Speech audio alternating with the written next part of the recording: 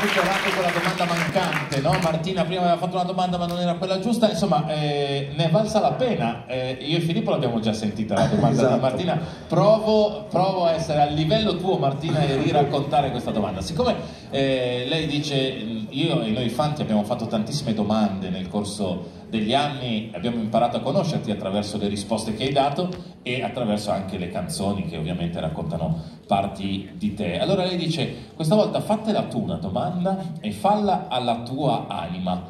È complicato. Eh, vai, vai. Ti voglio bene Martina. No, scherzo. Va bella, questa domanda è molto bella.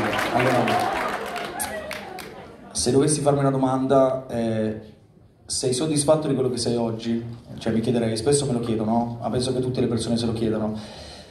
È assurdo, no? Non voglio essere malinconico o pesante, la mia risposta è sempre no. Ti spiego il perché. Non è che io non sia soddisfatto di ciò che sono, no? O di ciò che ho fatto finora, perché ci metto tutto quello che ho, tutto il tempo, tutta l'emotività, cerco di metterci anche tutto lo studio possibile.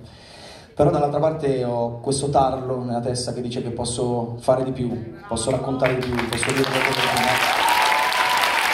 Quindi la verità è che ancora tanto da raccontare, ancora tanto da dimostrare e con i piedi ben saldati a terra lo farò e lo faremo insieme, speriamo.